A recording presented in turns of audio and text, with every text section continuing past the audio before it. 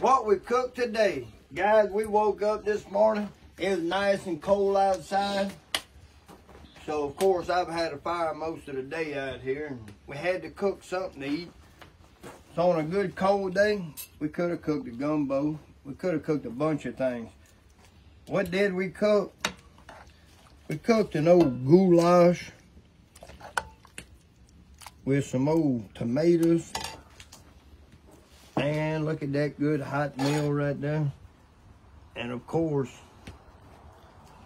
we got that motherfucking cornbread.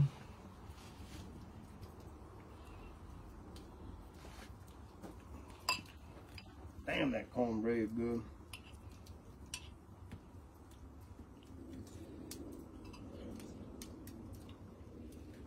Woo! That'll warm you up right there. Ça, c'est bon.